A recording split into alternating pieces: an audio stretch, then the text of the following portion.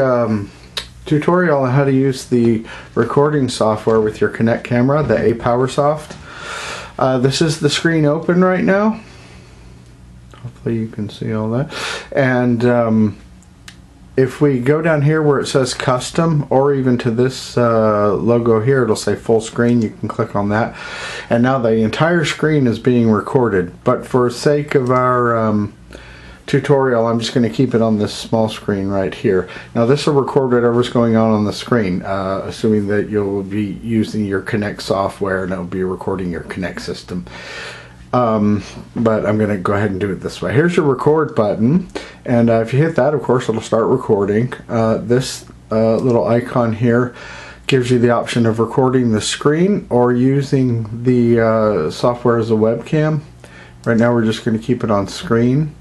The little microphone icon, you want to have it on system sound and microphone, and that will uh, utilize the microphones in the Kinect sensor.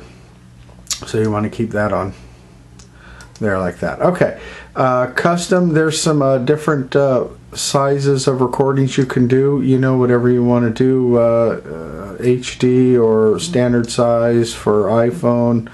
Of course, you're not on an iPhone, you're on a tablet, so. Uh, and then again, you have the full screen option or custom. Right now, we're just going to leave it on what it is, which is just this regular screen for the tutorial purposes. Okay, um, now big question I get asked is where are the videos stored when they are uh, done recording and I will show you. Uh, here's the settings icon, click on that.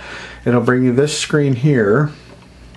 Okay, and uh, right here where it says default output directory, that is where your uh, videos are saved by default. And you can change that to wherever you want. If you want to record to an SD card or save it to another folder and then transfer to an SD card it's up to you. But uh, where it's located by default is in documents. So on your tablet there's a, there's a manila folder at the bottom of the desktop in the taskbar uh, you click on that and then you would click documents and then you'll see Apowersoft. You click on that and then Apowersoft again, and it will show you your um, your uh, recordings. Okay. Uh, otherwise, just follow that uh, uh, menu right there. Here, let me show you. Just follow this, and it'll, it'll show you exactly where things are. So, uh, if you want to change where it goes, you can click on these the little three uh, doohickeys here. Choose the output folder or the folder either one. Uh, well, you can open the folder here with the little folder. You can open it and it will show you your recordings. All right, that's going on behind, so I'm gonna go ahead and close that. Uh, but anyway, that'll show you your recordings. And then there are some settings here to set a temporary folder and that sort of thing. Okay, so that's where your recordings go. And you can uh, like i said you can adjust those to uh, go where you want them to.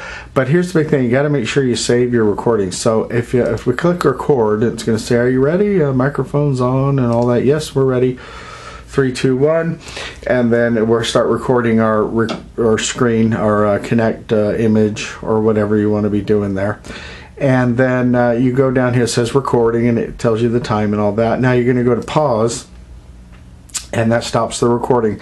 If you want to save what you just recorded, you have to click this green check mark over here. Okay, you click that green check mark and it will save that recording wherever you've got it designated to save. If you don't, you just uh, click the X, say delete file, and then you know you start over. You can just start over and not do the file, not to save the file. But uh, again, record. Uh, okay, ready to go. Three, two, one, and then you record.